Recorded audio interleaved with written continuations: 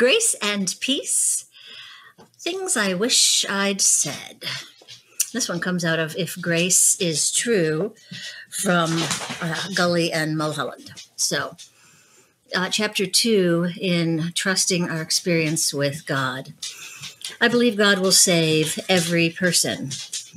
Those aren't easy words to accept, especially if, like me, you grew up believing some would be saved, but most would be damned.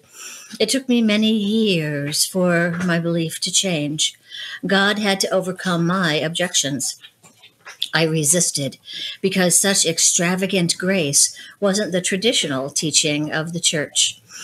It wasn't the usual interpretation of Scripture. It wasn't the formula I'd been taught. My belief changed only as I recognized the grace I'd experienced was not limited or conditional. I know a God of boundless love. I'd never experienced a God of wrath. I had had such a God preached. I've read of such a God.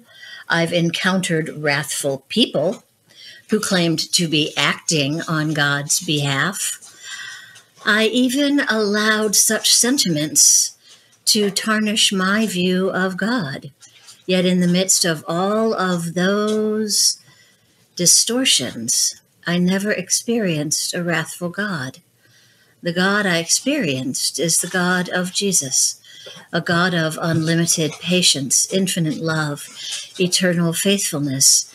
Jesus described a God who waits long through the night with a light lit and the door open, confident his most defiant child will one day realize his love and return toward home.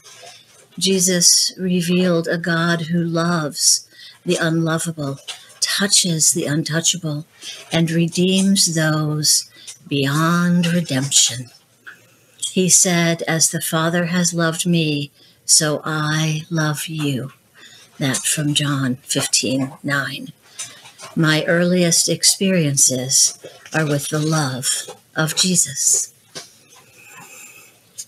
I pray that that is an experience that you have had. It has been the experience I have had. It's not a wrathful God I encounter, wrathful people, yes, but not a wrathful God humans do. Pretty yucky, wrathful, poopy kinds of things.